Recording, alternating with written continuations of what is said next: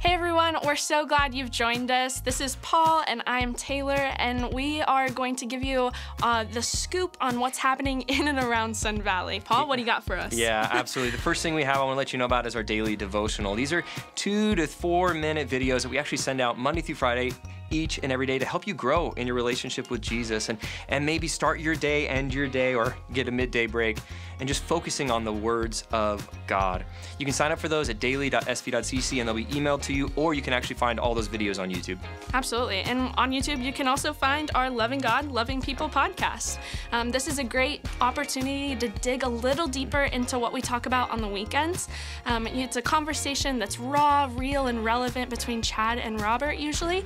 And this is a great opportunity, like I said, to grow in your spiritual walk with Jesus. So you can find that podcast on our app and um, by going on YouTube. Yeah, our app, as Taylor mentioned, is an incredible resource built for you to help you grow in your relationship with Jesus and even spend a little bit more time daily just in God's words, learning His promises for you. So we have that through reading plans and our daily our verse of the day.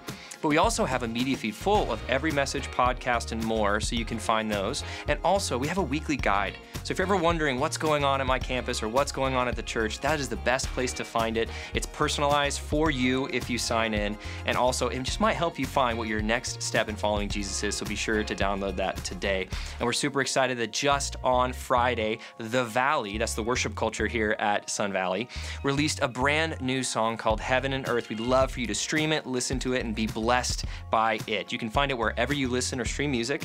You can also find it at thevalley.com. Dot com.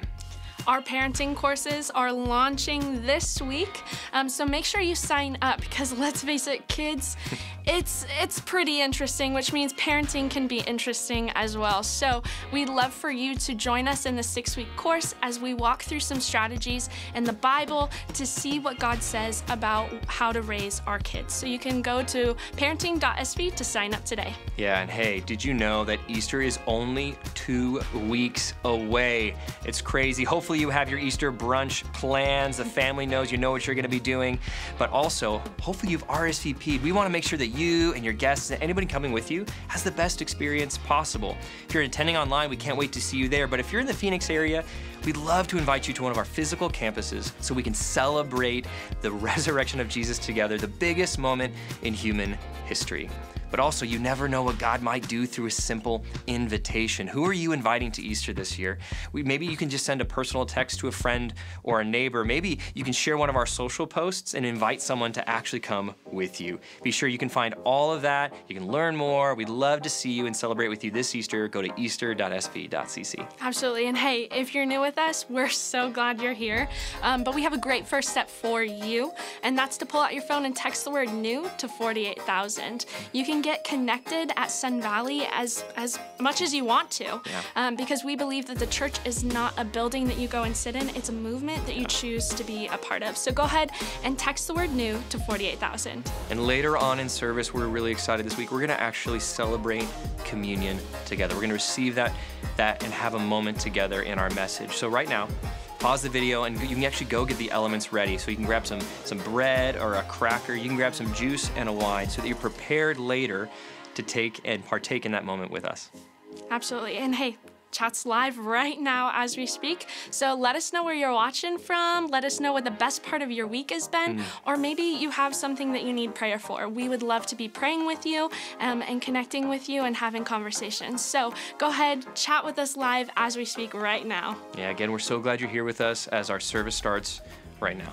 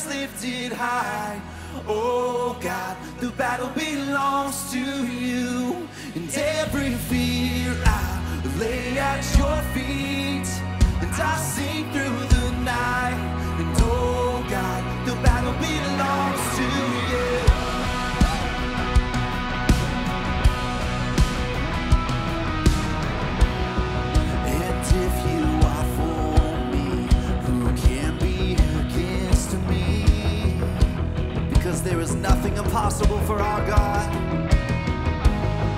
For Jesus, there's nothing impossible.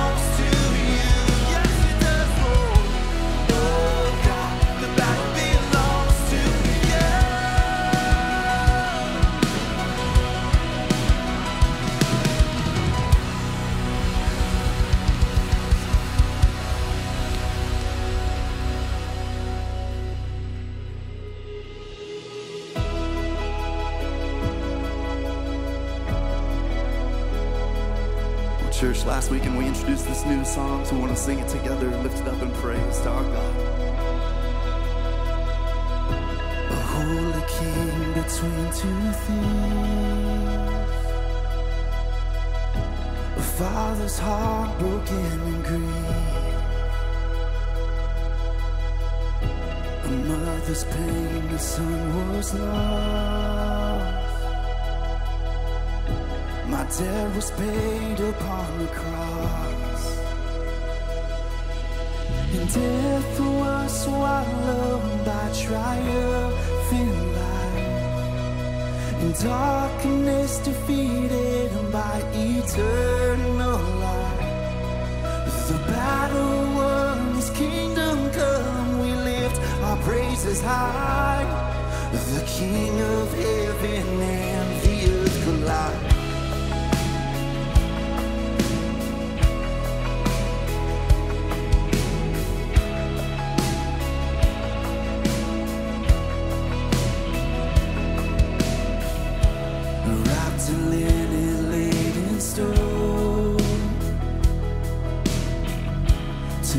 the silence all unknown. And Jesus rose in victory. Forever changed our history.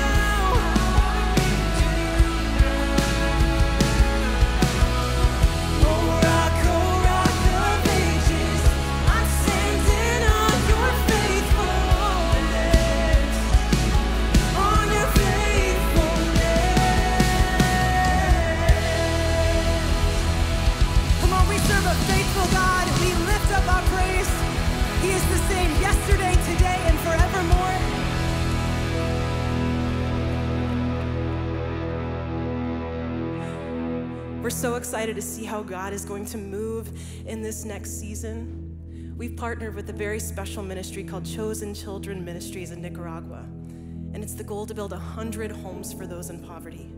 We're excited to see how God is going to move in and through Sun Valley to make this possible. So, as you have a seat, check out this video.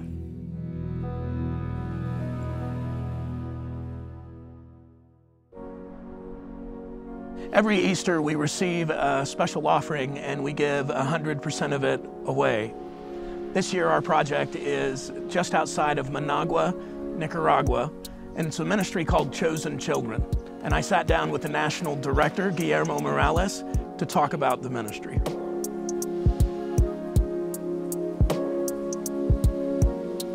Thanks for having us. It's a pleasure to have you here. I've been to different places in Central America. This is my first time to Nicaragua. Okay. What did the volcano mean? Is there historical significance about the volcanoes here? The indigenous people of Nicaragua beloved many things about the land they lived in. Nicaragua is the land of lakes and volcanoes, and both were great forces to be respected. One volcano, which you see, is the Masaya volcano, and they believe it was the very doorway into hell. When times were not good, they would sacrifice women and children into the volcano, a sacrifice they were willing to make in hopes of a better time. Witchcraft is an old world practice that even if you don't believe in it, it can still cause a lot of pain and anguish. No one knows this better than a woman in our Carlos Fonseca congregation. As a young girl in the city of Managua, I had to grow up more quickly than I should have. With an abusive father, I became a victim before I even had the words to describe what was happening to me. My mother blamed me and became jealous of the attention my father was giving me. I didn't want this. With each assault, my mother began to beat me more and more. She even tried to curse me, using the witchcraft of the ancestors in hopes of ruining my life.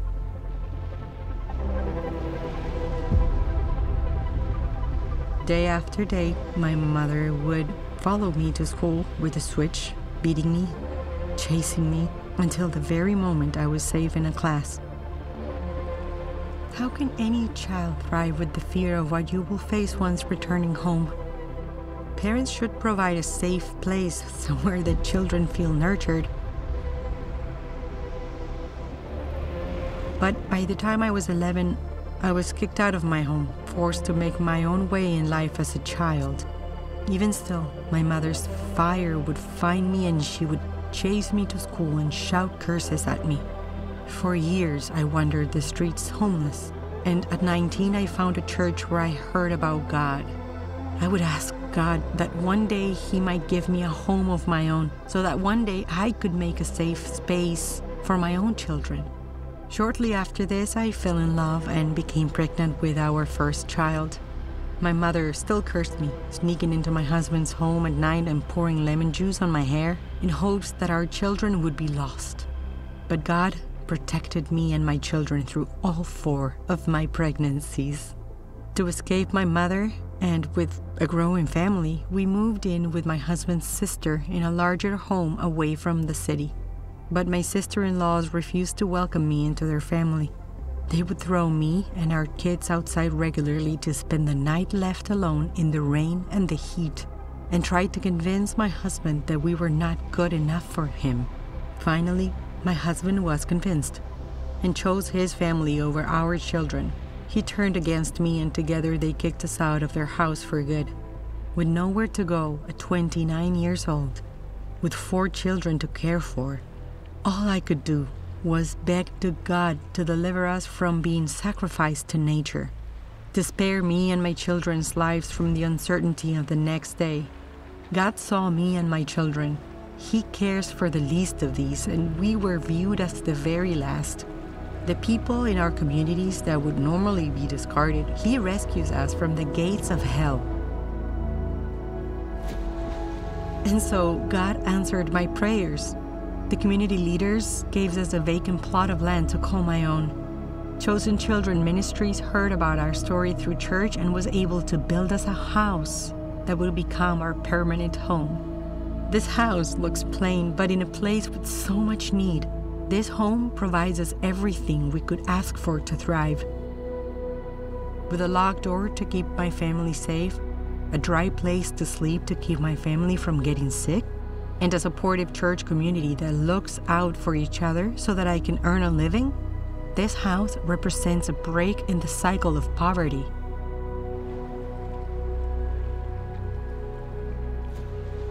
This land, whose fire has been used to strike fear in the hearts of the most vulnerable, is now a place of joy, a place of wonder,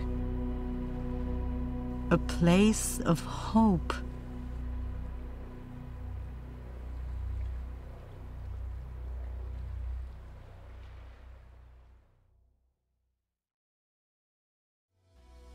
Well, what an incredible story. And we are so excited this Easter season to be partnering with Chosen Children Ministry to join in the work that God's already doing in and through the communities in Nicaragua. So if you want to give today and help be a part of transforming families and helping them find the hope in Jesus that they can have, go to give.sv.cc. And hey, if this is your first time with us, welcome. We're so glad you're here. This is Taylor, and I'm Paul. Yeah, and since you're new here, we have a great first step um, for you to take today, and that's by pulling out your phone right here, right now, and texting the word new to 48,000. We believe here at Sun Valley that you can be as connected as you would like to be. So I would like to invite you to go ahead and text the word new to 48,000. And hey, if you want to grow in your relationship with Jesus, and if you want to spend more time maybe building a habit, of reading the Bible, God's Word, each and every day, be sure to download our Sun Valley app. In it, we've got a daily reading plan with a verse of the day that'll help you grow and learn God's promises for your life. Also, we have a media feed full of messages, devotionals, podcasts, and articles that are going to help you grow in your relationship and understanding of who God is. And also, we have a weekly guide that helps you understand what's happening at your campus and maybe what your next step in following Jesus may be. Be sure to download the app today wherever you download apps, and also follow us on social media. We're at Sun Valley CC. Parenting course starts this week, so you're definitely going to want to sign up because let's face it, kids They can be interesting, they can be unique. You never know what you're gonna get. But hey, you're not alone, so we would love to invite you to walk alongside us as we go through our parenting course. This will be a time where you get to learn strategies um, and connect with other parents and just dig into what God's Word says about raising our kids. So you can sign up by going to parenting.sv.cc. Yeah, and Easter is two weeks away, and make sure that you've RSVP'd for the service that you're going to attend and be a part of. But remember this hey, Easter is actually one of the times, the easiest times of the year to invite someone to church. And so maybe you can send a personal text to a coworker inviting them to come to service with you. Or go onto our social media platforms, find and share one of our posts, and tag a friend. And while you're at it, maybe if you're in the Phoenix area, you can actually stop by one of our campuses and grab an invite card and use it to start a conversation with a neighbor. Remember, you never know what God might do through a simple invitation. Learn all about everything that's happening this Easter at easter.sv.cc. We're so glad you're here as we continue our series, King and Cross.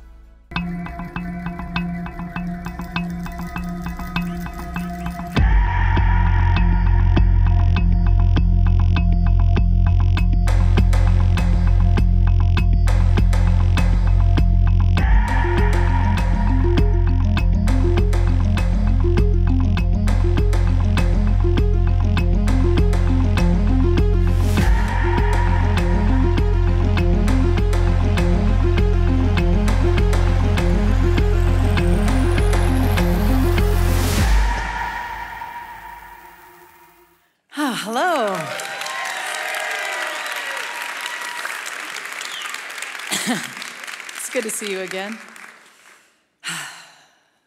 Remembering is important, right?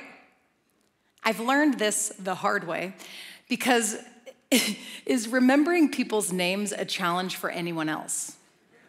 Okay, have you actually in the past years said the phrase, I'm just bad at names? If you've said that quote, just go ahead. Yes, perfect. Gonna call you out, so just keep those hands raised. Yeah, yeah, this one's for you. Um, so I said that thinking it was socially acceptable too, right? I recently did. I, I was with with these people, and I was like, oh, and I said like, oh, what was that name again? After you know the fourth time she shared it with me, and then. Uh, and I said, I'm so sorry, I'm just bad at names. And she goes, no, um, no you're not. I was like, excuse me. she said, you're just not prioritizing them.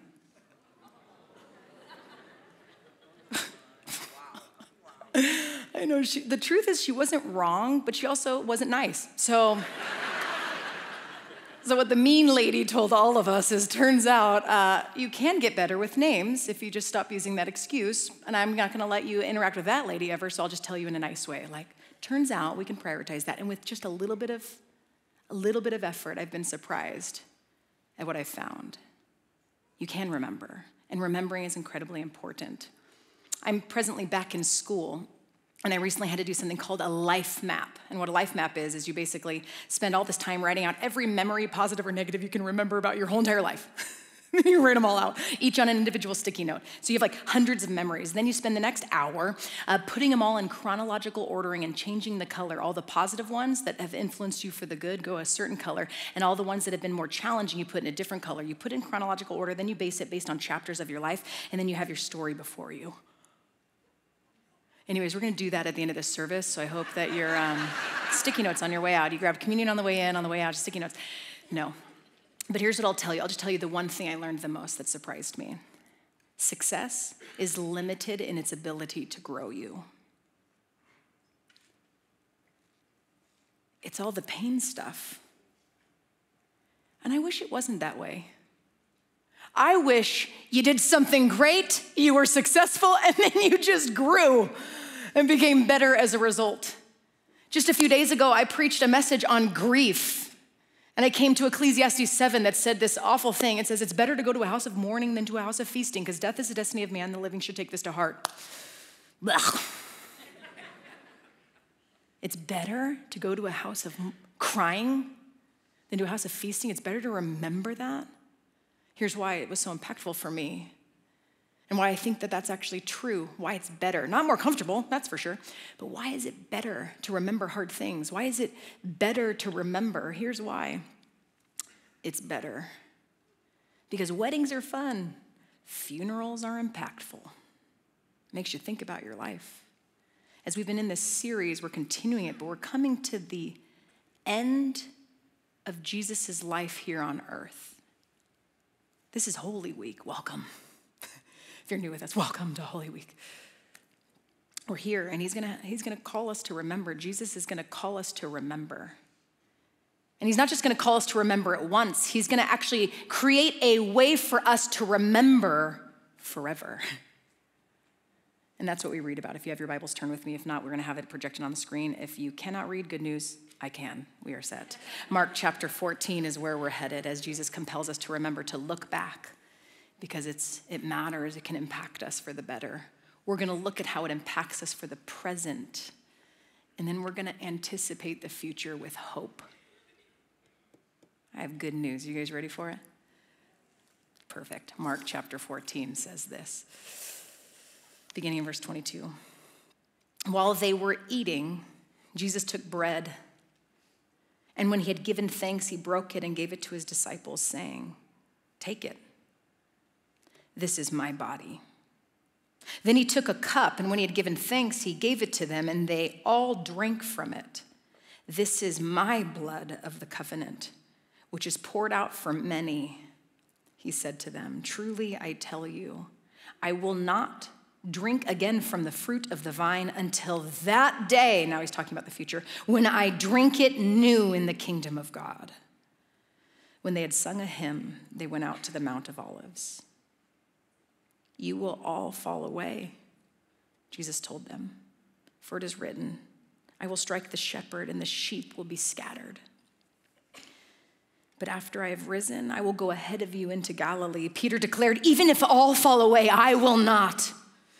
Truly, I tell you, Jesus answered, Today, yes, tonight, before the rooster crows twice, you yourself will disown me three times. But Peter insisted emphatically, Even if I have to die with you, I will never disown you. And all the others said the same. Will you pray with me? Father, I I pray that you would make these words sink deep into our lives, that we would not just know them in our heads, but by the power of your Holy Spirit, that they would go deep. And for people that are confused, I pray that you would bring clarity. People that feel frantic about their life or feel like I just have to do enough, be enough, I pray that you would relax them. And I pray, Lord, by the power of your Spirit, that you would make peace with people tonight because of the bread and the cup and what it represents. Would you do this, Lord, we pray? And all God's children said, Amen. Here's our three movements. We're going to look back in the past, present, and future. First, the Lord's Supper remembers the past. Let's go back, verse 22. While they were eating, what were they eating? Verse 12, 10 verses earlier, gives us a clue. It says this on the first day of the festival of unleavened bread, when it was customary to sacrifice the Passover lamb, Jesus' disciples asked him, where do you want us to go and make preparations for you to eat the Passover? So, what they're eating in our text for today is the Passover. Passover is a yearly meal that the Israelites did yearly to remember their delivery, their deliverance from Egypt. Do you remember back in the book of Exodus? If not, let me remind you. The Israelites were enslaved underneath the Egyptians, and God tells Moses, Justice is coming. And here's something you're going to hear throughout this entire message sin, which is basically missing the standard of perfection. Even if you think yours is little, you still missed it big because there's a standard and it's perfect. Justice is coming. God does not ignore sin. Do you know this? Some people that kind of hear about Christianity, they go, oh, they just, they just don't even think about sin. Or, or you do think about it, but it's just, it's paid. It's not been paid. No, no, no. God doesn't ignore it, ever. In fact, when God tells Moses to go, he's saying justice is coming. And the thing that surprised me as I was studying this afresh was this that when he said that justice is coming, he didn't say that the justice was only for the Egyptians. He didn't say only the Egyptians would not be hit. See, the world is not divided between good people and bad people, or better people and worse people. Because if the world was divided like that, guess what? Us and everybody else would all be on the bad side. That's the truth. So he says, justice is coming for all sin for all time.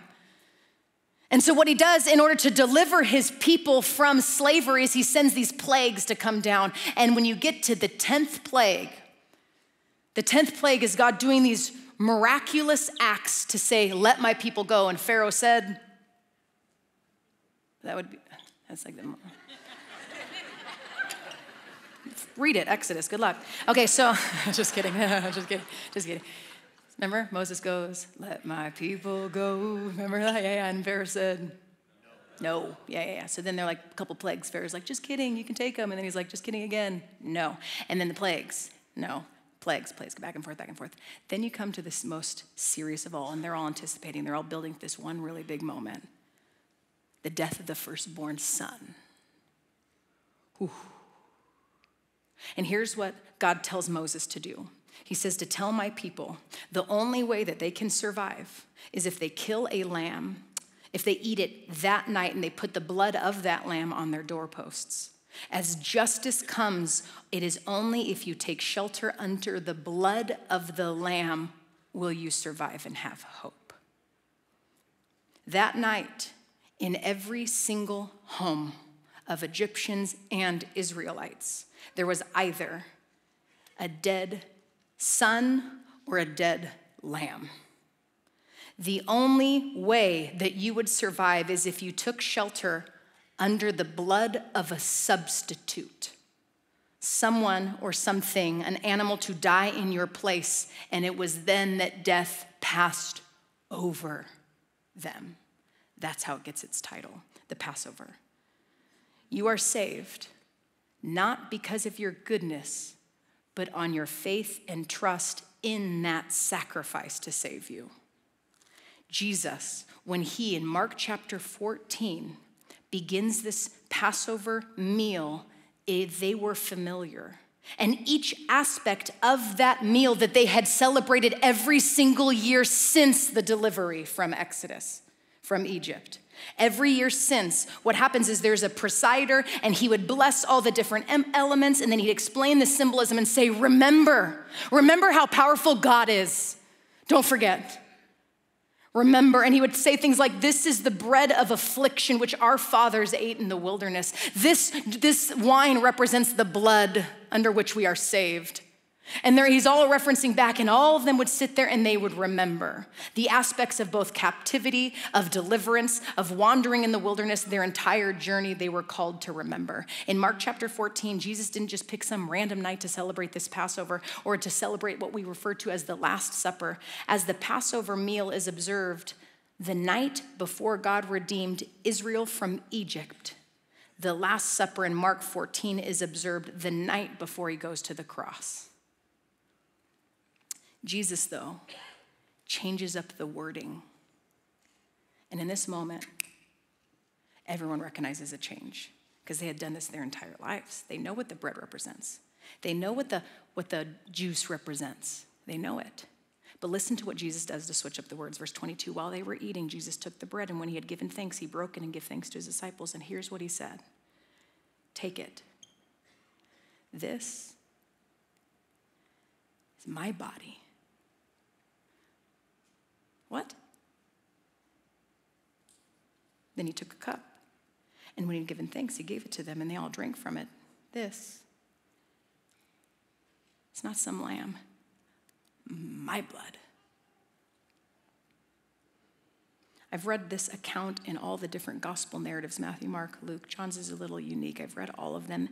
And while there's all this tradition to what a typical Passover meal would have at the table, this is a unique one in so many moments. Not only does Jesus then suddenly put himself into the symbolism, something is happening because none of the gospels talk about or make mention of the main course, the meat. There is no mention of a lamb at this Passover. There was no lamb literally on the table because the Lamb of God was sitting at it.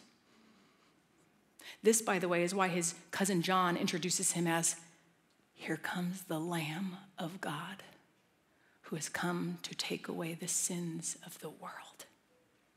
Not only does the Lord's Supper help us to remember the past, he's also telling us something about the present. Because the same thing that is true about the present for them is true for us today. Look with me on verse 24. It continues This is the blood of the covenant which is poured out for many. Number two, the Lord's Supper not only remembers the past, the Lord's Supper is communion with God in the present.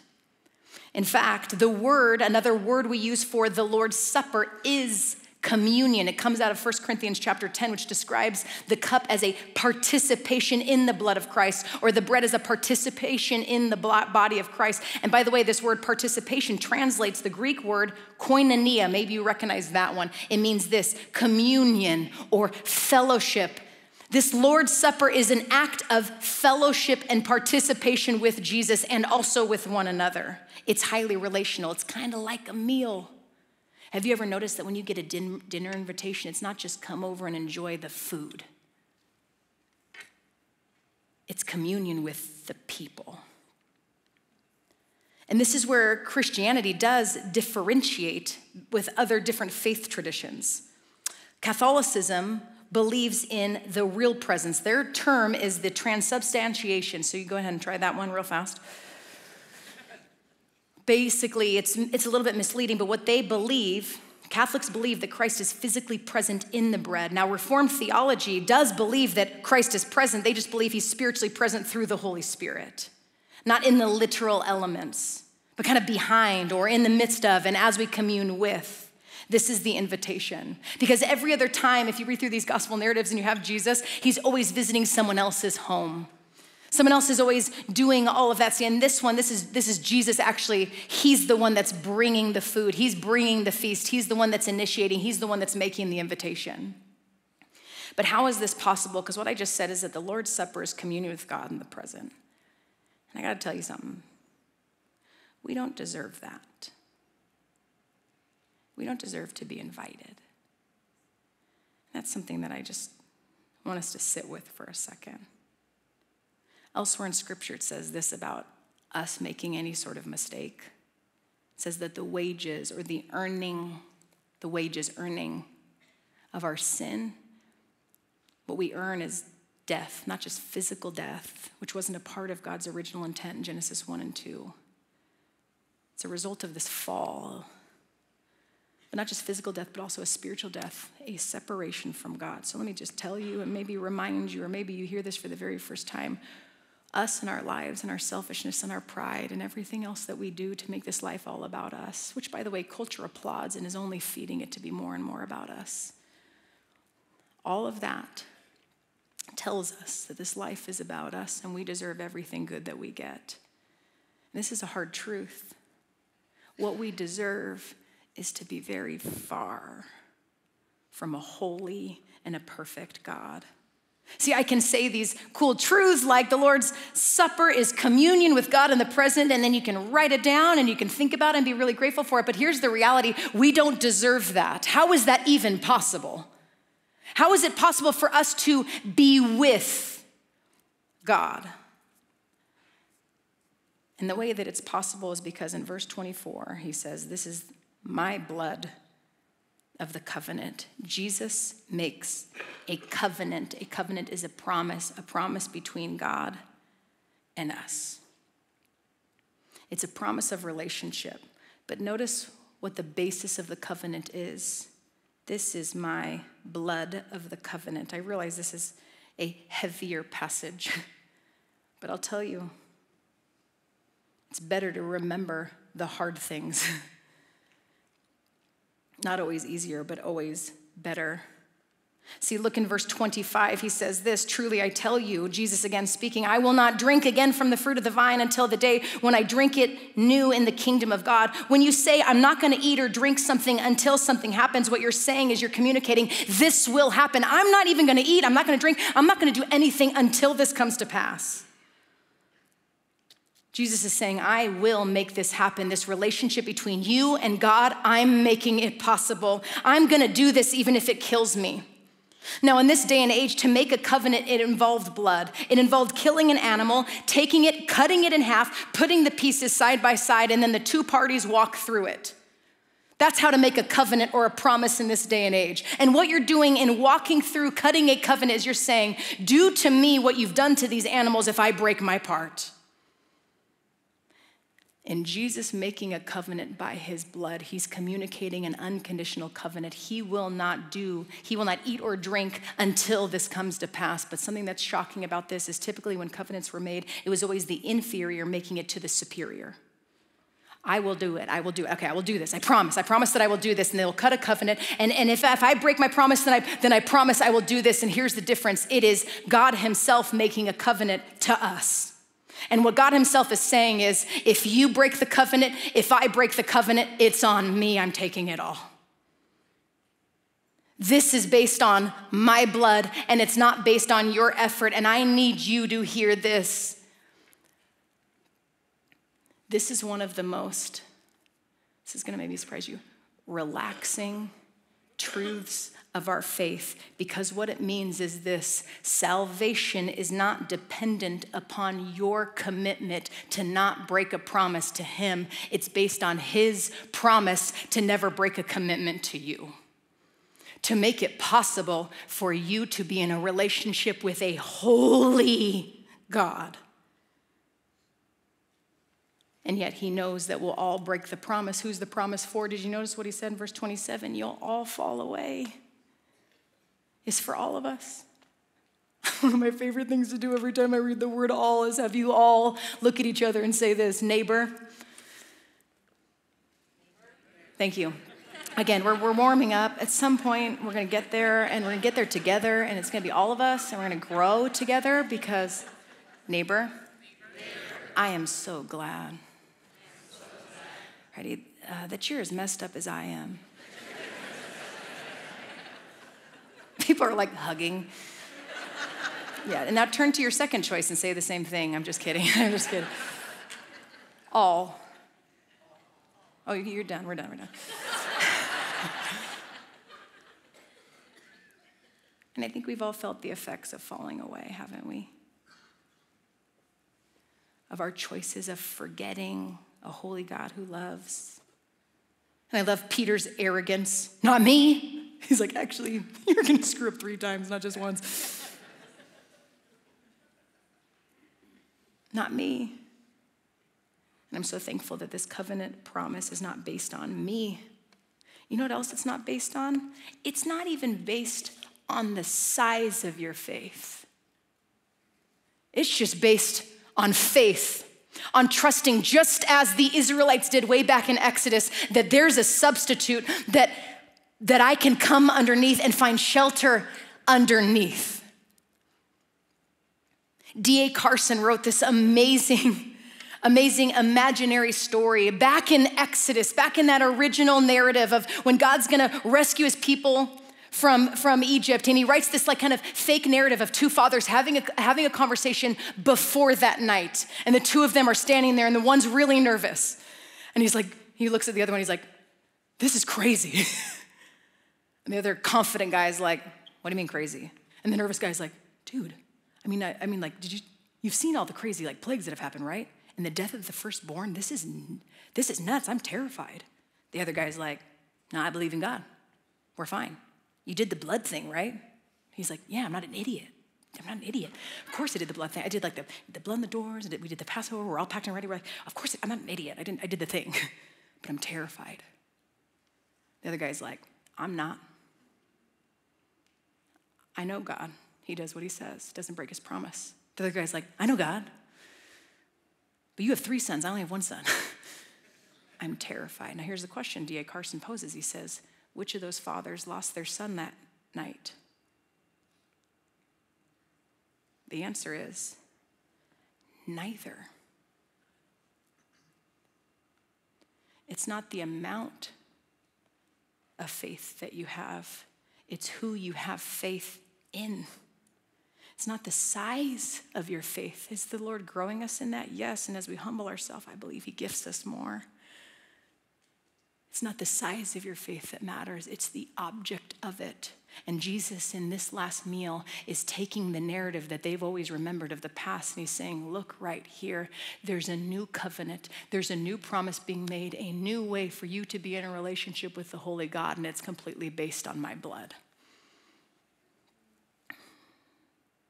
See, because we all fall short. And this is why Jesus came. Jesus, fully God, fully man, knew that we couldn't get to God on our own. Because with one sin, we fall away. Because suddenly, holiness is, is infinitely far with one sin. And because God knew that we could not, in our own effort, get to Him, He came to us. That's why we celebrate Christmas. It's trusting that even on our best day, we're not good enough to be in relationship based on our best day. And so He sent, because the only one to live up to God's perfect standard is God. So God sent Himself, fully God, fully man, Jesus and he walked around this earth and he lived a perfect life, the life you and I haven't. And in this night, he's saying, and here's what it's all for I'm gonna make a way, not to just cover your sin, I'm gonna make a way for it to never keep you from God ever again. See, when Jesus goes to the cross, he is taking that which we deserve. That's death. The wages of our sin is death. He is taking on himself that which we deserve, and he goes to the cross. See, because, like I said, sin is not ignored. The addictions are not ignored. What happened to you when you were young is not ignored by our God. It has to be absorbed somewhere. It's kind of like maybe some of you have given forgiveness to someone who really didn't deserve it. And if you notice that when you forgive someone, there's the potential that they kind of start f- doing well all of a sudden. And what are you doing? You're feeling the effects of it. I wish that when you forgave someone, you just felt, you do, you do feel peace. You do feel better. You get to participate in what God's up to in the world, kind of looking like Jesus, because that's what he does to us. And you get to forgive someone. But have you noticed that when you forgive someone, you still have to absorb it? Because pain, sin, death is not ignored by our holy and loving God, but it's absorbed by our holy and loving God. When he goes to the cross, he took it all. David Platt wrote it really eloquently when he wrote this. If you're up for it, you could even close your eyes for me, that's helpful. He said this We are not saved from our sins because Jesus was falsely tried by Jewish and Roman officials, sentenced to Pilate, by Pilate to death. What? No, no, no, neither are we saved because Roman persecutors thrust nails into the hands and feet of Jesus and hung him on a cross. Do we really think that the false judgment of men heaped upon Christ would pay the debt for all of our sin? Do we think that a crown of thorns and whips and nails and a wooden cross and all the other facets of the crucifixion that we glamorize are powerful enough to save us?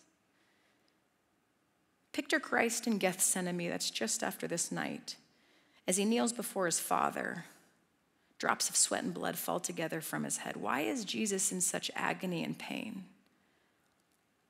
The answer is not because he's afraid of crucifixion He's not trembling because of what the Roman soldiers are about to do to him. Since that day, countless men and women in the history of Christianity have died for their faith. Some of them were not just hung on crosses, they were burned there. Many of them went to their crosses even singing. One Christian in India, while being skinned alive, looked at his persecutors and said, I thank you for this. Tear off my old garment, for I will soon put on Christ's garment of righteousness. As he prepared to head to his execution, Christopher Love wrote a note to his wife saying, Today they might sever me from my physical head, but they can never sever me from my spiritual head. That is Christ. As he walked to his death, his wife applauded while he sang of glory. Did these men and women in Christian history have more courage than Christ himself? Why was he trembling in that garden, weeping and full of anguish? We can rest assured he was not a coward about to face Roman soldiers. Instead, he was a savior about to, here it is, endure divine wrath. Why? Because God's not okay with sin. Listen to his words My Father, if it is possible, may this cup be taken from me. The cup is a reference to a wood is a reference to a wooden cross, is not a reference to a wooden cross, but divine judgment. It's the cup of God's wrath. This is what Jesus is recoiling from in the garden. This cup is what he holds before them. All God's holy wrath and hatred towards sin and sinners, stored up since the beginning of the world, is about to be poured out on him, and he's sweating blood at the thought of it. What happened at the cross was not primarily about nails being thrust into Jesus' hands and feet, but about the wrath due your sin and my sin being thrust upon his soul. Sin is never ignored, it's absorbed. And in that holy moment, all the righteous wrath and justice of God due us came down on him like a, tor- like a torrent.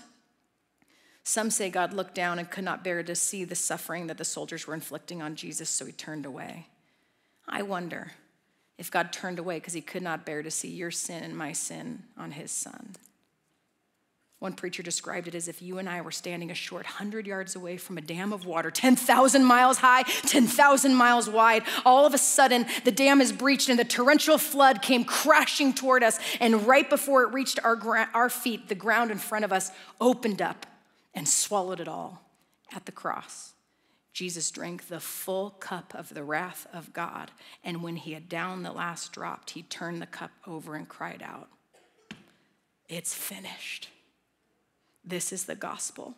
The just and loving creator of the universe has looked upon us, hopelessly sinful people trying our best, and he sent his son, God in the flesh, to bear his wrath against sin on the cross and to show his power over sin in the resurrection so that all who trust in him would be reconciled to God forever, so that all who put their faith and trust not in their ability to get to God, but trusting that he came to them, died they died the death they deserve, would be saved. Saved from a life without God, Jesus experienced everything we deserved so that we would never have to endure it so that we would never have to live this life without Him. He made a way. The Lord's Supper is communion with God in the present, made possible because of the body and blood of Jesus sacrificed for our behalf. Thanks be to God. And it's not just for salvation also our sanctification because suddenly it's not us trusting in our commitment to Him, it's just going, Oh Lord, I trust you. I trust that you're enough. And if you did believe this, can I tell you what it would do in you? It would relax you. Because suddenly it wouldn't be based on your performance anymore.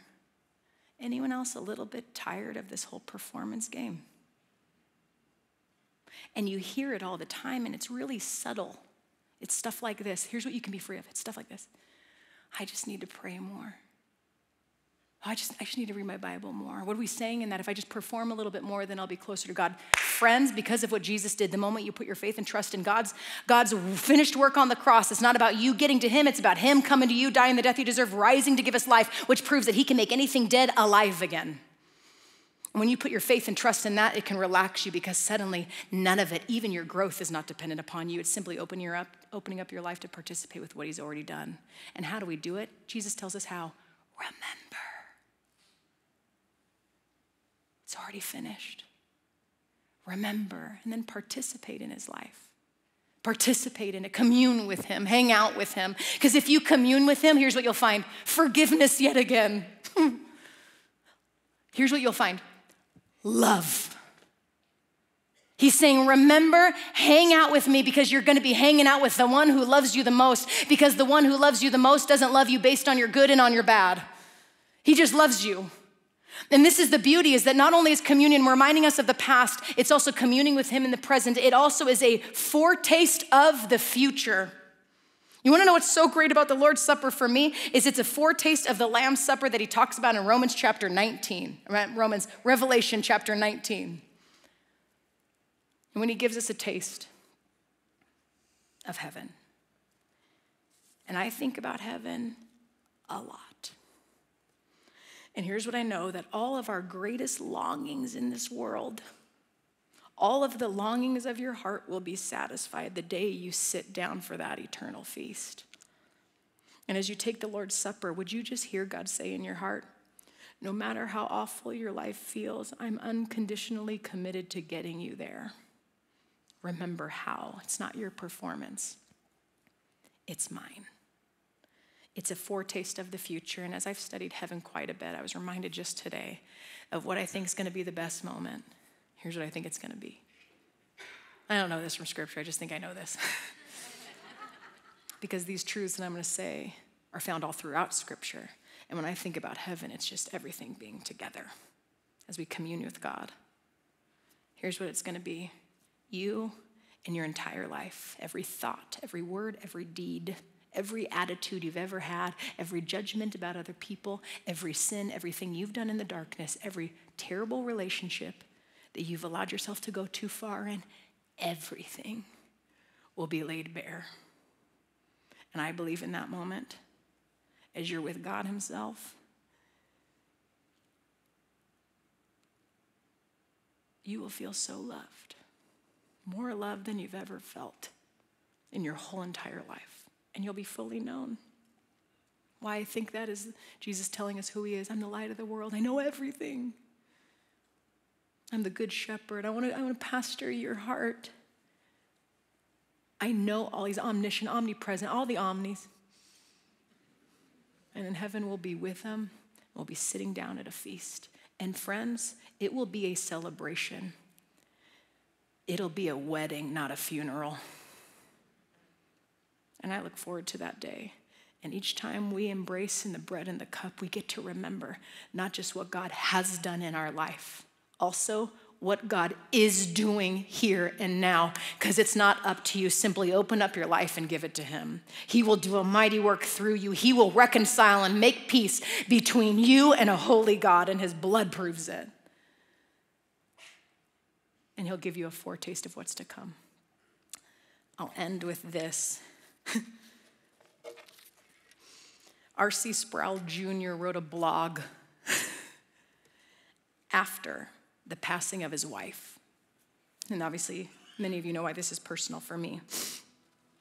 And here's what he said My deepest regret is I did not hold her hand more. It's not, of course, that I never held her hand. It's likely that I just didn't do it as often as she would have liked. Holding her hand communicates to her in a simple yet profound way that we're connected. Taking her hand tells her, I'm grateful that we are one flesh. Taking her hand tells me, this is bone of my bone, flesh of my flesh. It's a liturgy, an ordinary habit of remembrance to see more clearly the extraordinary reality of two being made one. I, it would have, even in the midst of a disagreement, of a moment of struggle, it would have communicated, we're going to get through this together. I will not let go. Holding her hand more would have communicated to us both my own calling to lead her and our home. Hand holding is a way to say both, you're safe with me and follow me into the adventure. It would have reminded me that there's no abdicating, no flinching in the face of responsibility. And as I lead it, would be a constant anchor, a reminder that I will, I lead not for my sake, but for hers. holding her hand more also would have spoken with clarity to the watching world. It would have said, There's a man who loves his wife. It saddens me that so many only learn this after their wife is gone. Perhaps most of all, however, I wish I had held her hand more so that I could still feel it more clearly. I wish it had been such a constant habit that even now my hand would form into a hand holding shape each time I get in the car. I wish I could fall asleep feeling her hand in mine. I know all this happily because I did hold her hand. I received all the blessings I described above. I just wish I received them more.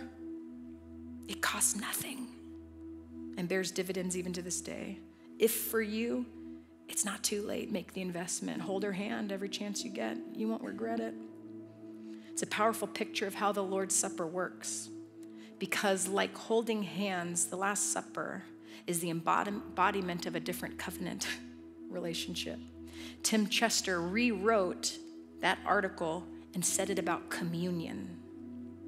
He inverted some of the statements because we're the bride and Christ is the husband, and he writes this My deepest regret is that I've not partaken of communion more, or rather, that I've not given it the significance it deserves. It's not that I never took communion, it's likely I don't often, just not as often as Christ may have liked. Communion communicates in a simple yet profound way that we're connected. In communion, Christ tells me, I'm glad that we're one flesh. In communion, Christ says to me, You are bone of my bone, flesh of my flesh. It's in liturgy, an ordinary habit of remembrance by which I see more clearly the extraordinary reality of two being made one. It's a means by which, even in the midst of a disagreement or a moment of struggle, Christ communicates to me, We're going to get through this together. I will not let go. It also communicates to me his calling to lead me. Communion is a way for him to say both, You're safe with me and follow me into the adventure. It reminds me that he will not abdicate or flinch in the face of responsibility as he leads me. Communion is a constant anchor, a reminder that he's not leading for his benefit, but for mine. Taking communion more would speak of the clarity, speak with clarity to the watching world. It would say, There's a person who loves the Savior. Perhaps most of all, however, I wish I had taken communion more so that I would feel the gospel more clearly. I wish it had been a constant habit that even now my life would form into a gospel shape throughout the day. I wish I could fall asleep feeling my life in his life. I know all this happily because I have taken communion. I've received all the blessings I describe above. I just wish I had received more. It costs me nothing and bears dividends even to this day. If for you, it's not too late, make the investment. Take communion. Receive it with meaning every chance you get. You won't regret it. Church family, you have the elements before you.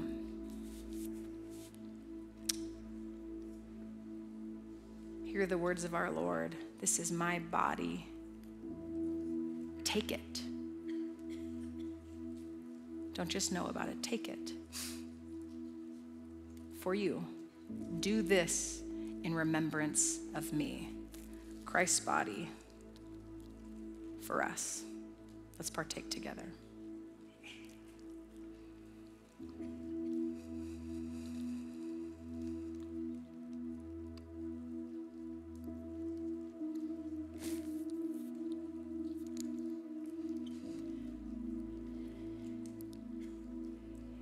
He also took the cup,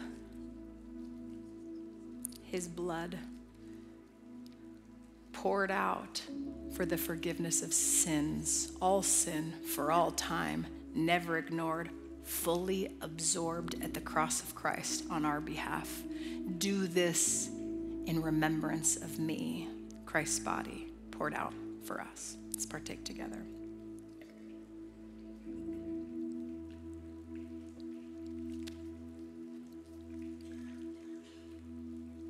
Oh, Father, would you help us remember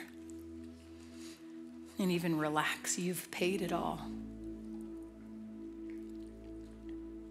You've paid it all. This is really good news. You've paid it all.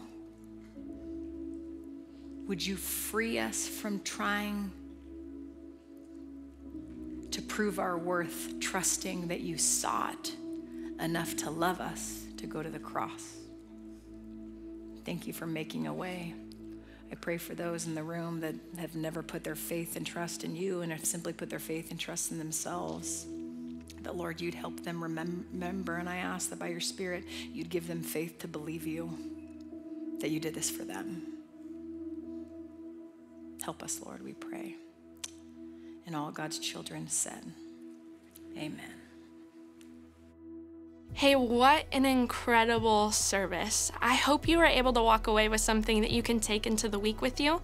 And I'd love to invite you back as we continue our series, King and Cross. And I'll see you next week. Bye.